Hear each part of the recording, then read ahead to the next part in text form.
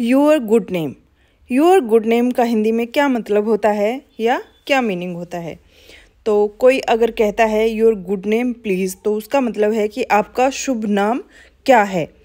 जब हम किसी से मिलते हैं और उसका नाम हमें पता नहीं होता है तो हम कह सकते हैं कि योर गुड नेम प्लीज़ यानी, कृपया आपका नाम बताएँ या आपका शुभ नाम क्या है? योर गुड नेम आपका शुभ नाम. आपको मुझे कमेंट बॉक्स में बताना है कि मेडन नेम का हिंदी में क्या मतलब होता है या क्या मीनिंग होता है। तो इसके साथ इस वीडियो में बस इतना ही।